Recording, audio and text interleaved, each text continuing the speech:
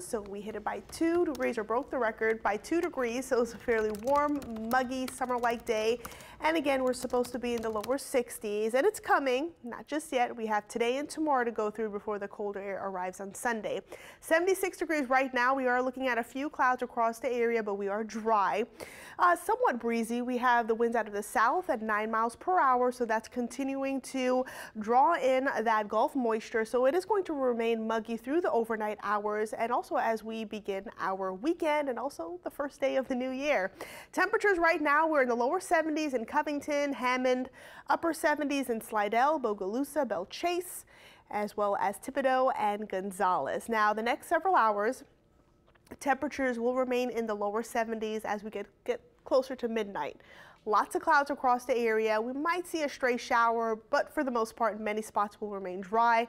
And even tomorrow morning, we'll be starting off in the lower 70s, so it is going to be a warm start to our morning. Taking a look at the visible satellite imagery, Again, those clouds continuing to stream across the area.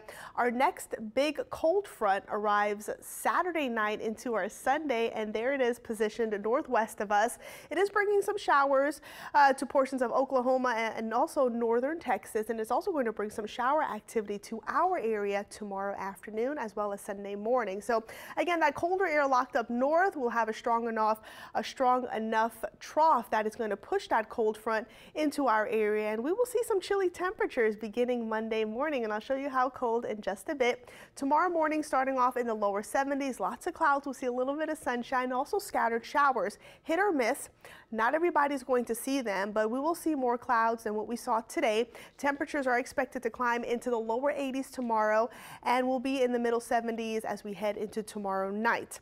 Now, tomorrow we could also break another record. My forecast high, 83, a record set back in 2006 of 81 degrees. And just for reference, earlier this year, we did be begin the year rather warm. Temperatures were in the upper 70s. So again, it will be a warm start to 2022. And as we look at the temperature trend, again, we have today or tonight rather, and also tomorrow before we see that colder air arriving to our area. And we're looking at very cold temperatures as we begin our Monday morning. In fact, many locations may see their first first hard freeze. Temperatures will be below freezing on the north shore and also some locations on the south shore. So make sure you're dressing accordingly as you're heading out Monday morning. It's also going to be breezy. So wind chill temperatures, so it feels like uh, in the upper 20s in many locations. Make sure you're bringing in your pets and also covering up your sensitive plants and bringing your plants in as well. And same deal as the South Shore. So we're looking at a very cold start to our morning on Monday. So taking you through the rest of the evening, dry, but tomorrow afternoon, a few spotty showers are possible, hit or miss, quick heavy downpours in a few areas, and we'll see lots of clouds.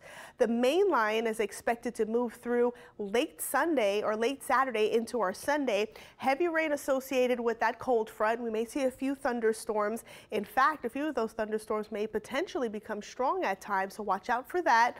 And we are under a marginal risk. You can see that highlighted green for the entire area extending into southern Mississippi. That's a level one, a low end risk, but still a risk nonetheless. So we could potentially see a few strong thunderstorms, gusty winds at times. Again, the ingredients are there, so we'll be watching those storms very closely.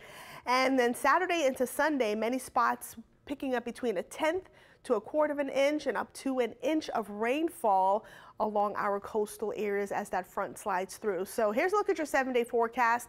Warm, muggy, breezy tomorrow, scattered showers, that main line sliding through Saturday night into our Sunday. And I am looking at a 30% coverage for showers